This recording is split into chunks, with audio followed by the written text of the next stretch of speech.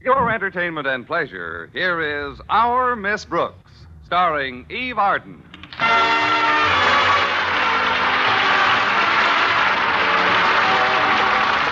It's time once again for another comedy episode of Our Miss Brooks under the direction of Al Lewis. Well, the flames of anger that scorch the soul of a spurned woman just don't seem to flicker so violently in the male animal. As a cracker barrel poet once put it, quote, men don't see red like jilted ladies until they drop dead and visit Hades. Our Miss Brooks, who teaches English at Madison High School, expresses the same thought, but on a much higher literary plane. Quote, nothing to me is so disappointing as to get stood up by Mr. Boynton. Unquote, new paragraph. Last Wednesday night, Mr. Boynton called off a date we had. But the next day, he made me forget all about it by calling off the date we had for Thursday night. and Friday morning, my landlady greeted me at the breakfast table with another pleasant surprise. I thought you might be sick of scrambled eggs, Connie, so I fixed you something different for breakfast today. Oh, what is it, Mrs. Davis?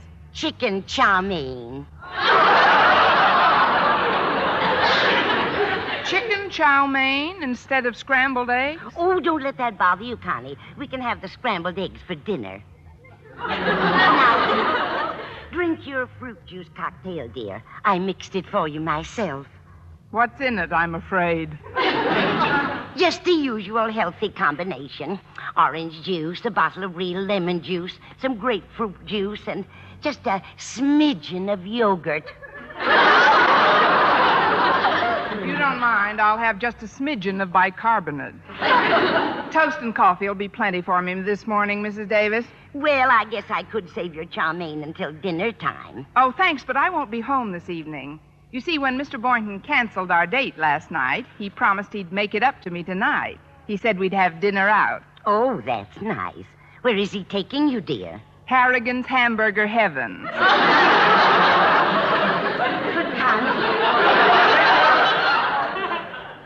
That's just a little open air stand in the park. Well, that's one thing about Mr. Boynton. When he says we're eating out, we eat out. Honestly, if he weren't such a handsome devil. Uh, oh, that reminds me. Before you came in, I was reading an item in the school paper that might interest you. In the monitor? What is it, Mrs. Davis? Well, I've got it right here. It's in Walter Denton's new gossip column. Here, read it. Let's see. Campus dirt shoveled by Walter Denton. My first exclusive. What female English teacher is that way about what certain handsome biology teacher? Your reporter has purposely omitted any names so as to cause no embarrassment to either Mr. Boynton or Miss Brooks.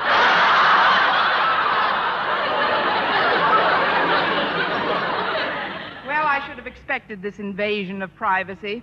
Ever since Walter took over that gossip column, he's had his ear to more keyholes than a house detective. If you think that's bad, read the next item. It says, My second exclusive. What other lady English teacher is also that way about the same biology instructor?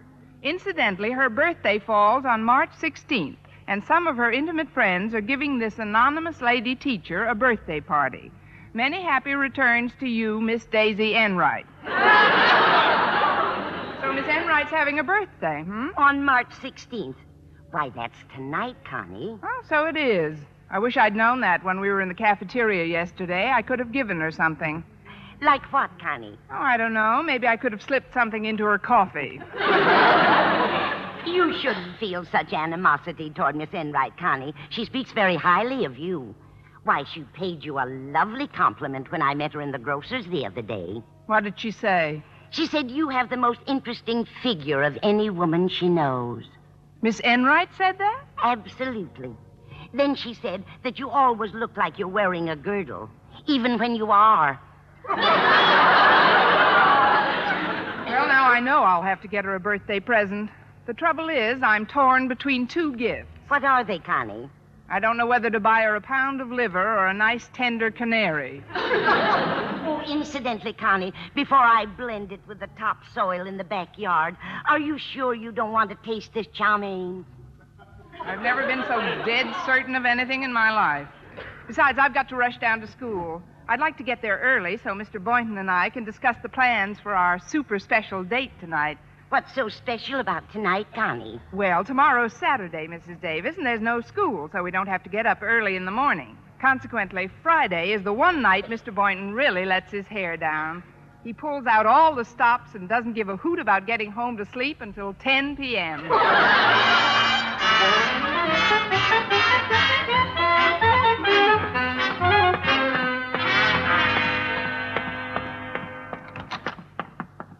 Well, good morning, Miss Brooks. Why, Mr. Boynton, what a surprise to see you here.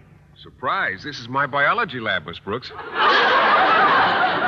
what do you know about that? And I thought I was stepping into a phone booth. well, anyway, now that I'm here, what's new?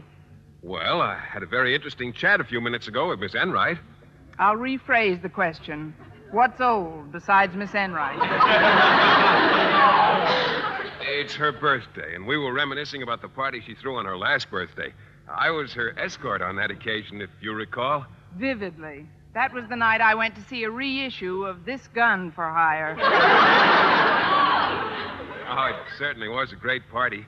We had an eight course dinner, and then everybody got noisemakers and favors. And, well, along about nine o'clock, I got to feeling real gay. I, I remember I put one of the lampshades on my head and made believe it was a woman's hat. Sounds like a real wingding. Uh, but let's turn to a more pleasant subject, Mr. Boynton, about our date for tonight. Oh, oh, Miss Enright reminded me about something else this morning, Miss Brooks. It's very funny how it happened. I just know you'll scream when you hear it. What is it?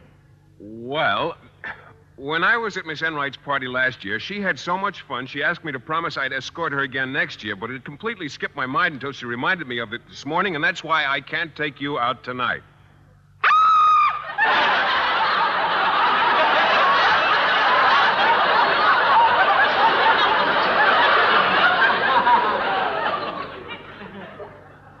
See, I told you. No, if you'll excuse me, Miss Brooks, I- I've got to go into the back room for a minute. I've given my frogs and guinea pigs some breakfast. And I- Not so fast, Mr. Boynton. There's something we've got to discuss. Oh, but the frogs and guinea pigs must be finished by now. I've got to clean up their dishes. Well, let the frogs wash and the pigs dry. I'm sorry, Miss Brooks, but I've got to get things straightened out before my first class. If you want to wait for me, I'll be back in a few minutes. Don't worry, I'll be here. You'll recognize me by my white lips. Now make it snappy. Very well, Miss Brooks. Fine kettle of frogs this is. Of all the unmitigated nerve. I... and I want to live.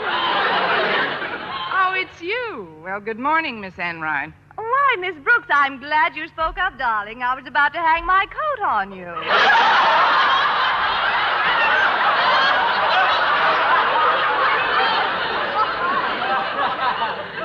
Go right ahead, dear. Then I'll hang one on you.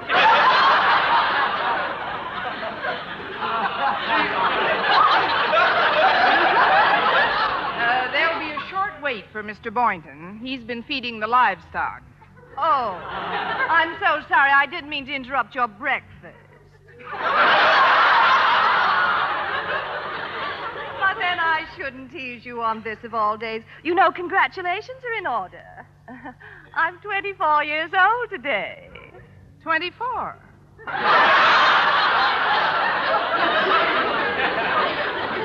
Well, I can't blame you for being a trifle more bitter than you are normally. After all, Mr. Boynton did have to break a date with you so he could escort me to the party tonight. But remember, darling, this is a special occasion. After all, I don't have a birthday every day. Oh, I know. You just look that way. You're such a doll.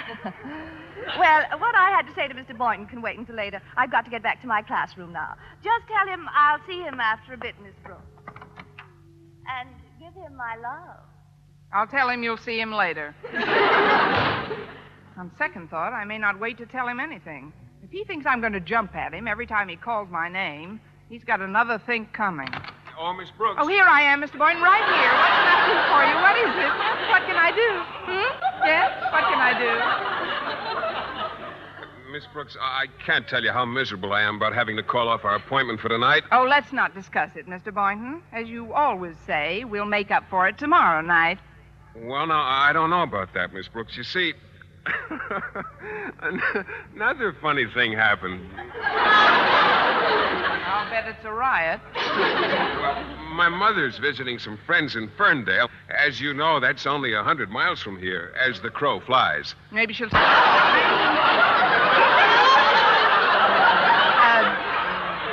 I meant, what has that got to do with tomorrow night? Well, in the letter I got from Mom yesterday, she said she's going to drop over to see me in a couple of days, which probably means tomorrow, although she'll wire me about the exact time. And when she comes to town, I'll have to call off all dates and spend every night with her. Well, I seem to have hit the jackpot this morning. I might as well get to my classroom. Well, goodbye, Miss Brooks. Bye. I heard absolutely nothing, Miss Brooks. Walter Denton, was your ear to that keyhole? Absolutely not. Cross my heart and hope to die. And I think it's a dirty shame for Mr. Boynton to dust you off for Miss Enright. Well, now that you know the story of my life, you also know that there's nothing I can do about it. Well, that's where you're wrong. While I was listening, I was thinking. And I've got a plan that's absolutely foolproof. All it needs is the cooperation of an old pal of mine named Mel Norman. Mel Norman? Yeah, you remember him. He graduated from Madison last year. But before he got out, he used to shovel the dirt for the gossip column I've got now. Oh, now I remember. He's the slimy little boy who got the black sheepskin at commencement. What's your plan, Walter? Listen, Miss Brooks. First of all, Mel now lives in Ferndale, where Mr. Boynton's mother is visiting friends. Secondly, Mr. B made it clear that he'll call off all dates when his mother gets to town. So? So, all I have to do is make a little phone call to Mel. Tell him to send a wire to Mr. Boynton from Ferndale, signed Mother, and saying that she'll arrive in town tonight. Upon receipt of said wire, Mr. Boynton will immediately cancel his date with Miss Enright and sit home to await Mama. Go on. Mr. Boynton will not wait alone because you'll be sitting there with him, ostensibly to keep him company until the arrival of the dear little lady who just isn't going to show up. Mm-hmm. In conclusion, all I ask is that you give me one measly buck to cover the cost of the phone and telegram from Mel. Well, Miss Brooks, what do you think of the scheme? Walter Denton, that is without a doubt the sneakiest, foulest, and most deplorable scheme I ever heard of. Here's the buck.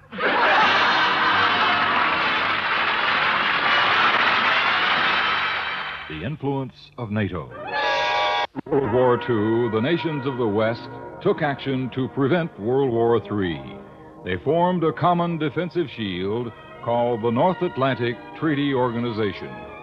And in the intervening two decades, NATO did what it was designed to do. It has succeeded, enabling the nations to learn from each other, to earn from each other, to live together.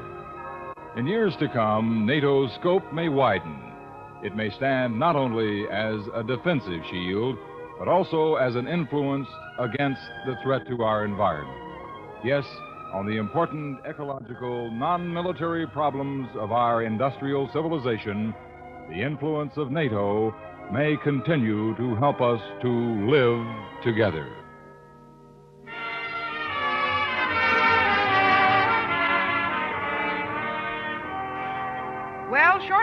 First class, Walter Denton slithered into a phone booth, called his henchman in Ferndale, and got him to send the wire telling Mr. Boynton his mother would arrive that evening. By noon, I was anxious to find out if Mr. Boynton had received the wire, so I headed for the cafeteria at a rather rapid rate. As I jogged past the principal's office, however, Mr. Conklin opened the door, and in the warm and friendly voice he reserves for his favorites on the faculty, he addressed me. Halt!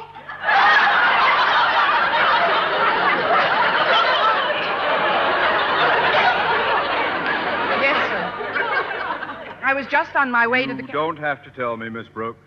Every day as I sit in my office during the noon hour, some secret sense tells me the exact moment that you are passing by on your way to see Mr. Boynton. I don't understand. Well, it's relatively simple.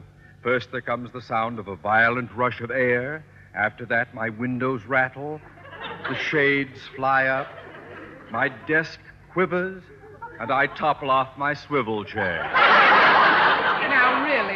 Mr. Conklin, you know. Gad, how I wish we could use you on our track team.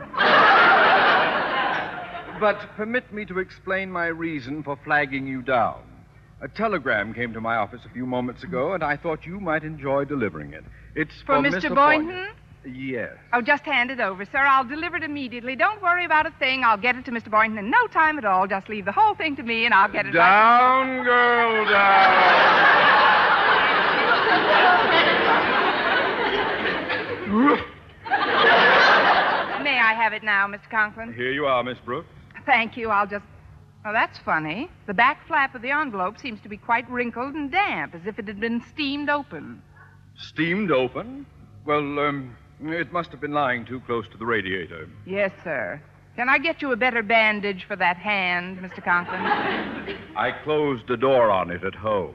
Miss Brooks, I resent your inference that I would open anyone else's message. A man of my integrity does not pry into the affairs of others. Naturally not, sir. What did it say? It says I'm arriving tonight at. se- How do I know what it Now, take that thing to Mr. Boynton.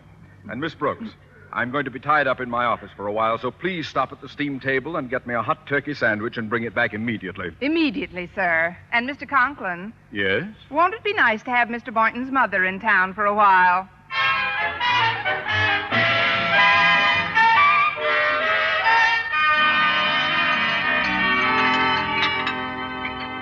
Go ahead and open your telegram, Mr. Boynton. Thanks.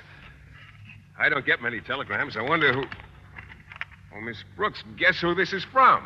Well, if it's from your mother, it's certainly news to me. It is from my mother, Miss Brooks. Now, listen to this. I am arriving tonight at Union Station. Not necessary you pick me up, just.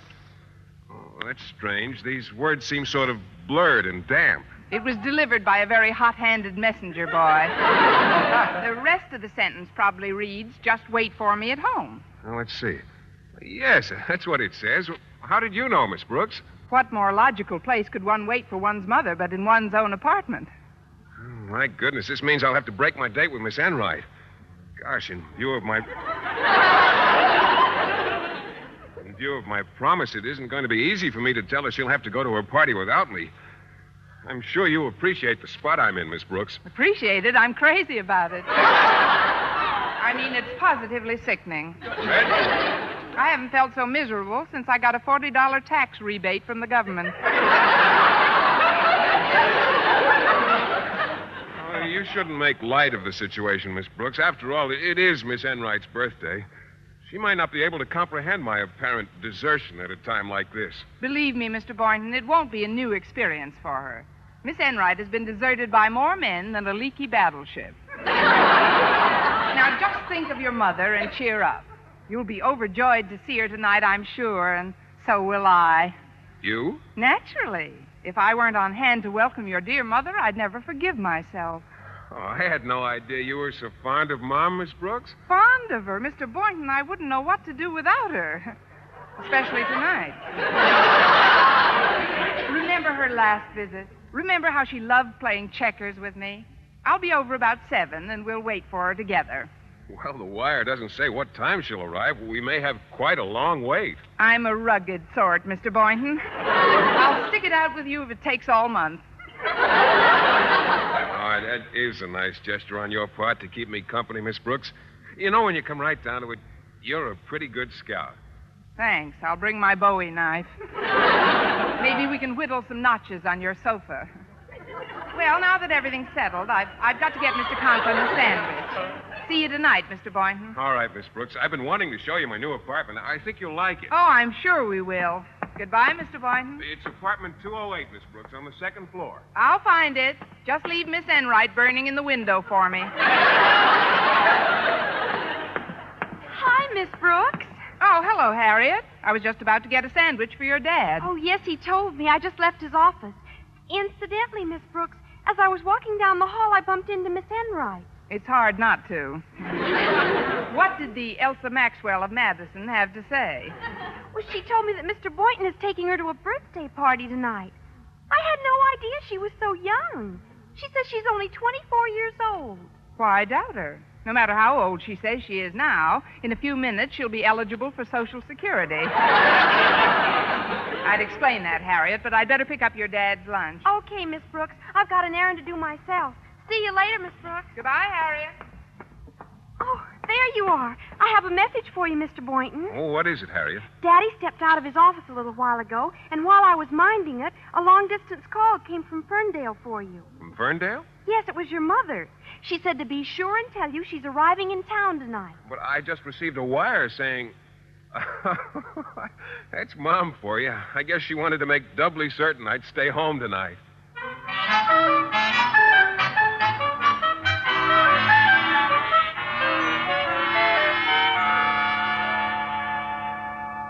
My, what a lovely apartment this is, Mr. Boynton. I'm glad you like it, Miss Brooks. Those French doors next to the fireplace, where do they lead? The fire escape. It'll be, be great fun. Great for sunbathing. My only regret is that I I don't have an extra bedroom. When Mom arrives, I'll have to sleep right here on this couch. Well, don't rehearse now. it's a very comfy couch, Mr. Boynton, but it's rather wide. Why don't you edge over a bit closer to me? Oh, please, Miss Brooks. We're already sitting so close together, I. I could almost reach over and touch you.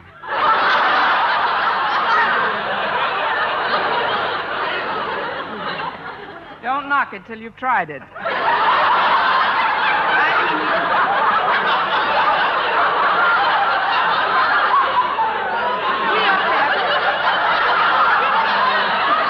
We really should have a gay time tonight, Mr. Boynton. See what's on the coffee table? I've made some punch, just enough for the two of us. For the two of us? Yes, a gallon and a half.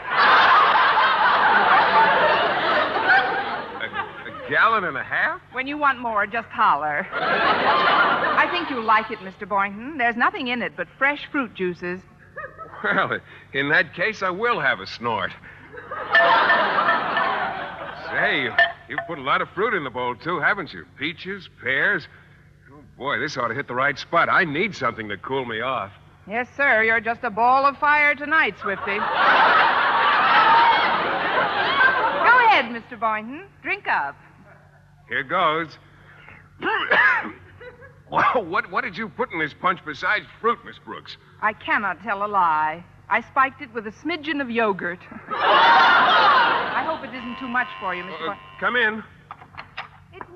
It's me, Boynton. Oh, Miss Enright. Good evening, Miss Enright. Well, I knew you were expecting your mother, Mr. Boynton, but you didn't say anything about your grandmother coming. oh, it's you, Miss Brooks. Yes, it is, Miss Enright. And now that you're here, why don't you let me hang your coat and you in the closet? Well, I can't stay but a moment. Goodbye. Miss Brooks, I told Miss Enright how you volunteered to sit with me until Mom showed up. Yes, he certainly did, darling. And only minutes ago, I was struck with such a brilliant thought that I simply had to drop over and pelt you with it.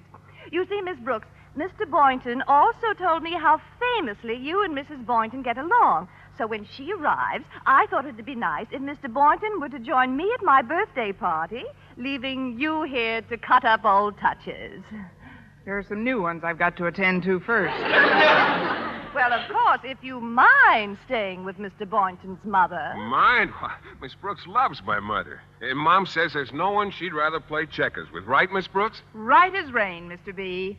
Miss Enright, if, I mean, when his mother arrives, Mr. Boynton will join you at your party. In the meantime, it isn't polite to keep your other guests waiting. You're right at last, darling. Au revoir, mon cher. See you later, Miss Enright. I'll be waiting, dear Mr. Boynton. Don't hold your breath, dear Miss Enright. Oh, it'll be kind of nice to get out to a party tonight after all. When I think of the laughs you and Mom are going to have. Oh, say, I better get out the old checkerboard for you. Don't waste your energy, Mr. Boynton. Oh, it's no trouble. I'll set it right up by the punch bowl. I hope Mom gets here soon. The night is practically over. I know. It's ten minutes past eight. Look, Mr. Boynton, there is a possibility that Miss Enright's party may be over by the time your mother arrives.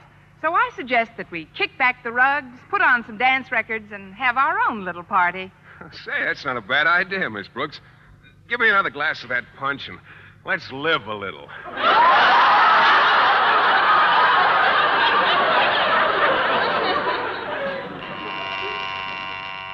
Come in. Philip, my boy. Oh, Mother. And Connie Brooks. Miss Brooks, what are you doing with that punch bowl? Just pushing the fruit aside before I dive in.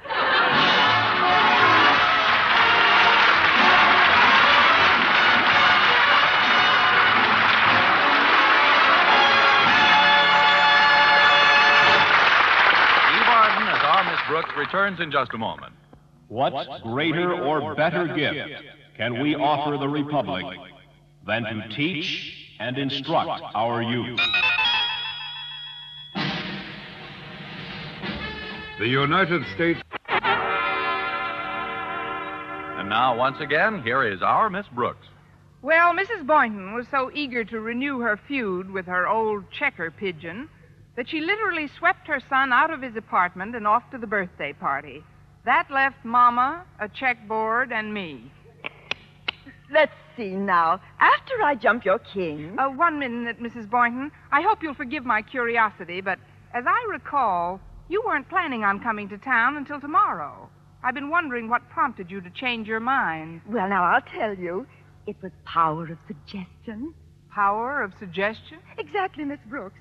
I had lunch today at the Ferndale Cafe with a lady who works for the telegraph company there, and she told me that a wire had been sent from her office addressed to a Mr. Boynton. Go on.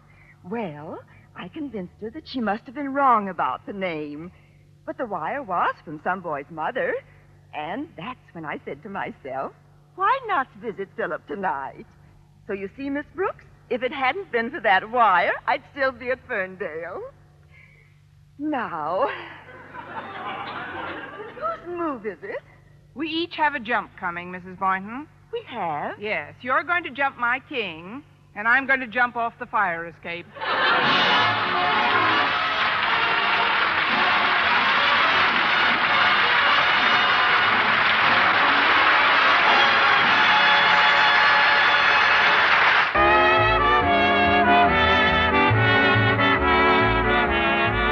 Our Miss Brooks, starring Eve Arden, was produced by Larry Berns and directed by Al Lewis. Written by Arthur Alsberg with the music of Lud Gluskin. Mr. Conklin was played by Gale Gordon. This program came to you from the Frankfurt studios of the American Forces Network Europe and was prepared for rebroadcast over this network by specialist Ed Barron.